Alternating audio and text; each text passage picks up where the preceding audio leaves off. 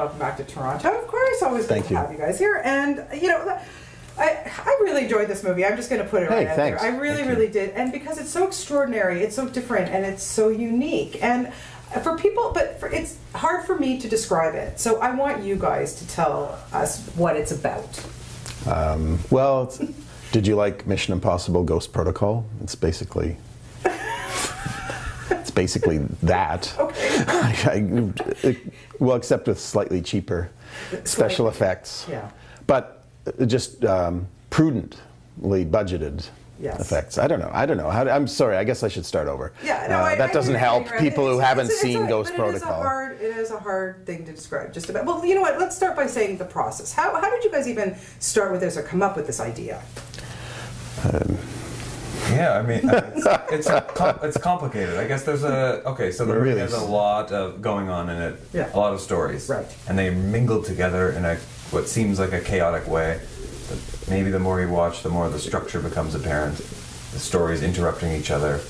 Um, And the But how- stories have something to do with each other. Yeah, and the- even yeah, though at, at first glance they seem not to. But So they you- all come from the same monomaniacal writers, Yeah. and um, they have things in common, and I don't know, and they and they, and they're energized in ways that please me, and the whole thing kind of has a nice. I, I we like the trajectory of of this thing. Yeah. and it's and it's packed. Big It's- time, as it it's, ever. It's Yeah. narratively packed, and we really wanted to make something that that that really carried people along and, and left them washed up on the other shore, panting Yeah. at the end. So, and and I, I feel good about it. Yeah, and well, you know, in terms of just finding all the footage and going, like, what kind of um, was it painstaking? I mean, just just to put this thing together. Well, we shot it all. Yeah. Uh, yeah, and cast it. It was, it was, it was a, a long, life-altering process. We started in 2010, researching a, a lot of stories that um, were once feature films in various countries around the world.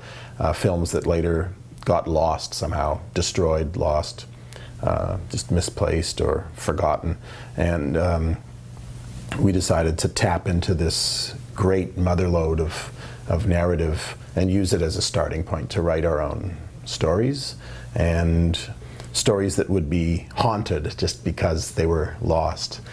We thought of the stories as sad spirits wandering the landscape of film history and and now they just got their chance to throng the screen and get themselves told. And they had to pass through a medium us um, on their way to the screen, and so we ended up using our filmmaking voices to um, cohere these wildly disparate stories a- until they were telling one story. Yeah, no, it's it's actually it's so It sounds cool. it sounds Yeah. ridiculous, No, or maybe even maybe off-putting, for all I know. But I, I do feel that it's Yeah. that it, it it feels like an event to me. No, it, it, it's an event. It's an adventure, I think. Yeah. You know, for sure. Thanks, How thanks. does the collaborative effort work between the two of you?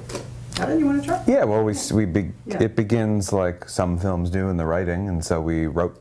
To, I mean, first we researched together, and then decided to start writing the, the script together. I don't know that uh, writing was the was the way the collaboration uh, sort of um, I don't know realized itself at first, and then on set though, Guy has a very distinct on set manner, which he produces a lot of energy and chaos because he's otherwise he you have a lot of inertia. So if you're going, you can keep going, but if you sit down, everything stops, and you want to have a nap and you don't want to direct anymore. So Yeah. you never sit down on set. You just keep the energy. Yeah, I don't allow myself to And so on down. set, Guy is very much the dominant figure, and we quietly discuss things every once in a while, but he's directing the energy. Once we have all the big mess of footage, because it is a mess by that point, because you shoot a lot. Right. That's when, when I, you know, take my place in the collaboration, and um, we really discuss what to do, and we help with the editor. And Yeah, the writing process, which is huge and tiring, was a real pleasure for me this time, even though it's hard, because um, Evan encourages a frank, no, none of this Canadian passive aggressive manipulation, none of this saying one thing but meaning another. He's very direct, and I really enjoyed the fact that he could be really direct without personally hurting my feelings ever, and uh, which was something new in my experience. And so uh, it just felt so good to be direct back and forth and be productive. And and whenever we disagreed about something, it wasn't a matter of one of us convincing the other to take his idea. We usually f- found, thanks to these really direct discussions, a, th- a third um, uh, route to Yeah. take that was much better than either idea we each had individually before. So, it, in other words, it was thrilling, and, but exhausting. Oh, was- sure. And then, and then it's it's true on the set. I was the putative director, but then in post production, I always time my energy to run out on the very last shot Mm-hmm. uh, of of a shoot, and so I was left with nothing in the tank. And Evan took over at that point, including mostly this the structuring of the film, which is very complicated and hilariously complicated. Yes. It's almost just complicated for its own sake, uh, just to, um, I don't know.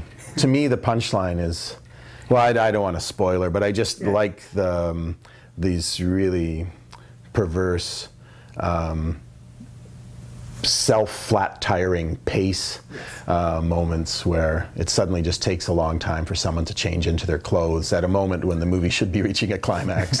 and it's really cool. Okay, so what have you learned from him, and what, or what was the best piece of advice you've ever gotten? Well, I don't know if Kigai dispenses advice Okay. in. Not so much as not laments. practical at it, yes, it's the size a lot. But but he actually he did teach me. I don't know if you know this, but you taught me something. It's um, that strange.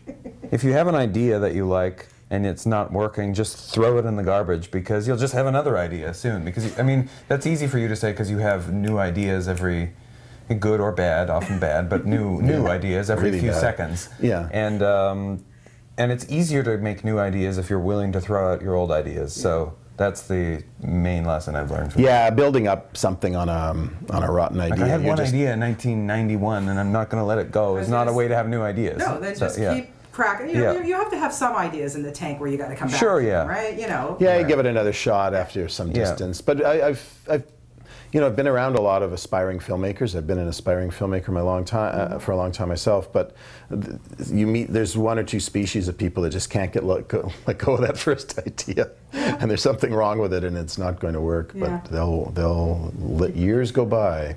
Yeah. So we, we only let a few minutes go by. All right, that's okay. Well, congratulations, you Oh, guys. thank you. Really great. Uh, I loved it. I loved it. I really loved it, and best Oh, of luck thanks. with it so much. And uh, always great talking to you. Thank, Thank you so you. Oh, much. very sweet.